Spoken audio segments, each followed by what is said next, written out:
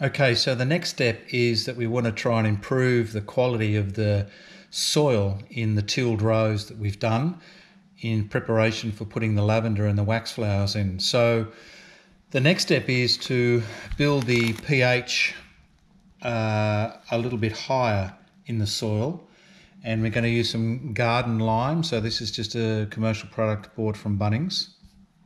I've used some of this, uh, well not this particular brand of product before, but I've limed the soil previously just using an agricultural lime and that was more like a powder type substance whereas I can feel in the bag this feels more like a granular type of product.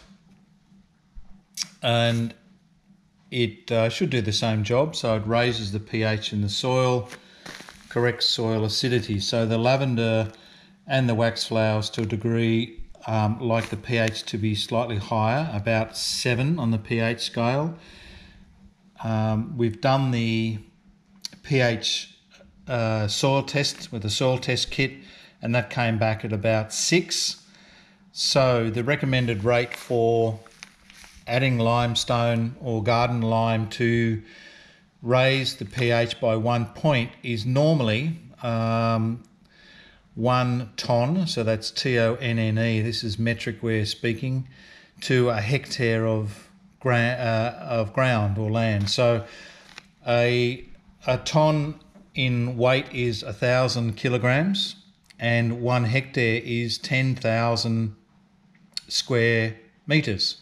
So it's about uh, one tenth of the garden size um, that you want to add to the lime. So a thousand kilograms per 10,000 square meters, one tenth.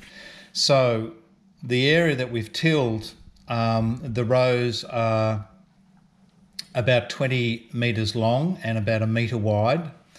So that would make it um, 20 square meters. So going on the same formula that they recommend, uh, would be one tenth of 20 square meters, which would be two kilograms of garden lime, would bring the pH up by one point and should bring our pH up from six to seven. So we'll apply two kilos of lime per each row that we've tilled.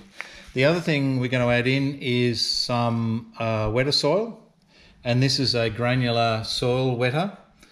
And the problem I've noticed uh, with the soil in the area that we've tilled up is that it's quite repellent to water, that you can put water on it and it just seems to run away, it doesn't seem to soak in.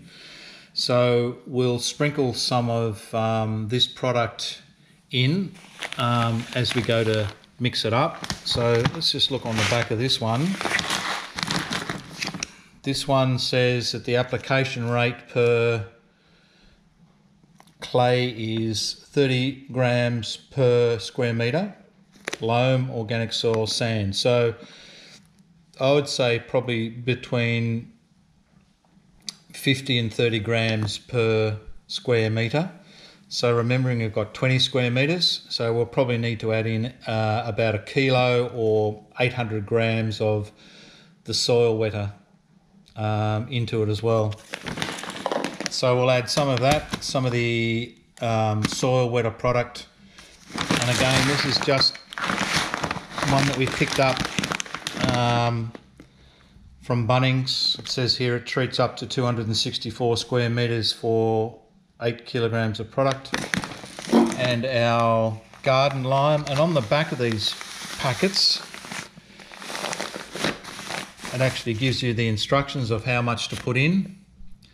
So it says there light sandy soils 50 to 100 grams per square metre. Um, heavy organic soils 100 to 200 grams per square metre, lawns and so forth. And it also says that one adult handful is about 50 grams. So that's cool. That's uh, that's sort of the recommendations we want, and uh, we'll get the kitchen scales out and pour it out into two kilogram um, lots and then we'll apply that to each row. Righto, we've measured out two kilograms of our garden lime and it's really not the product I thought it was going to be. I thought it would be like a white granular material, but it actually looks like brown sugar or sand.